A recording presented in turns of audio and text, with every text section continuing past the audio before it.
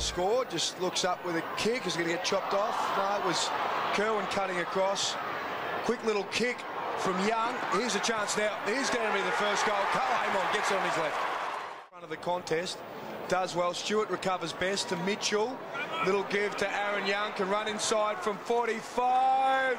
Steers it through. Port Adelaide get their second. Get enough purchase on the ball. All up, no one down. Oh, great tackle. Excellent work, and it spills to Young, who goes off the ground and gets his second goal for the quarter. Gets around one. Some pressure coming from Murphy. Free kick against him. Play on the umpire. Mitchell to Summerton. Hurried little kick. Here is Shaw. Mason Shaw. He's clever and he finishes well. Had a lot on offer. You can see he's a little bemused by what lies ahead, so he just hoists it high. Chance now for Hitchcock. Oh, Hasn't well seen a lot of it. Finds Mitchell. Man over the top is Cracker. Goes with a handball. Cracker slip.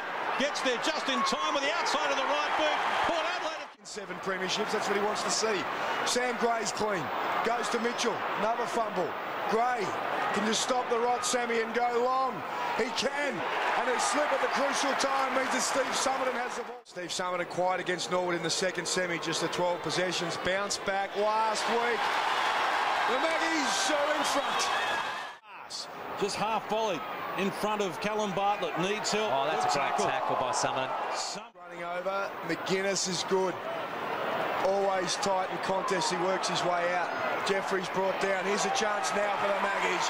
And it ends on the Chester Shore. Against South in the prelim last week. He's already got one today. And he puts it through.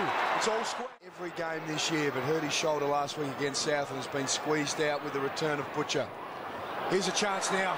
Get that? Port Adelaide, Archie.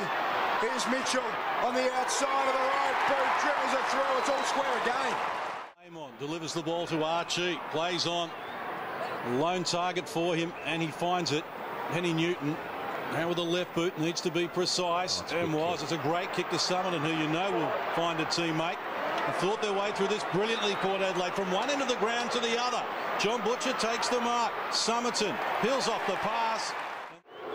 In his eight games, this to give Port Adelaide back the lead. The fans behind the goal like it, and he's got the job done. Little give. Russell over the top. Here we go. Oh, what a Intercepted. What a smother. Approaching the 17 minute mark, Steven Summerton, the Port Adelaide captain, drives them forward. Going deep, looking for Butcher. Takes the mark. Had Stewart available, but couldn't get the ball there quickly enough.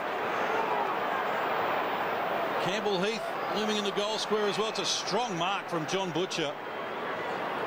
And now he's farmed it off and they find Cracker. Goal kicker in the second quarter and also in the third. He comes in looking for his third of the game. He's threaded the needle and Port Adelaide